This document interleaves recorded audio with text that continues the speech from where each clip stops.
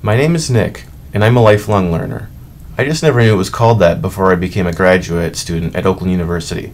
After earning a bachelor's degree and working a few years as a professional, I wondered what it would be like to earn higher degrees. Even though I wasn't the smartest person I knew, I quickly found that I could achieve anything by working harder and staying organized in all phases of life.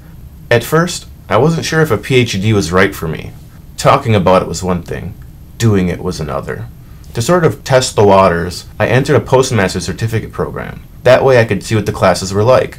Once I started, I couldn't imagine stopping with the postmaster certificate, and I wasn't alone in that feeling. It's been said that if you want a glimpse into your future, look no further than your friends. These friends of mine are all OU graduates, living proof that I too can finish.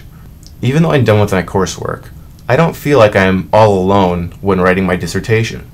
My professors put me in a position to succeed.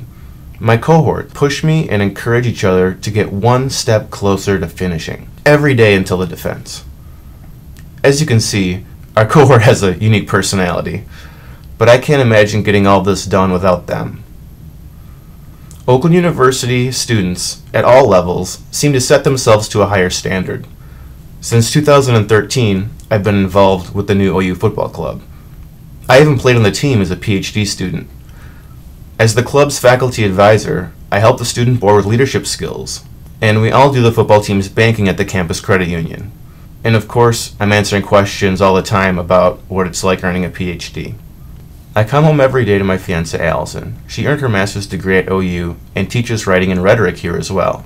When I want a glimpse into my future, I look no further than successful Golden Grizzlies that surround me. My name is Nic, and I'm a lifelong learner at Oakland University.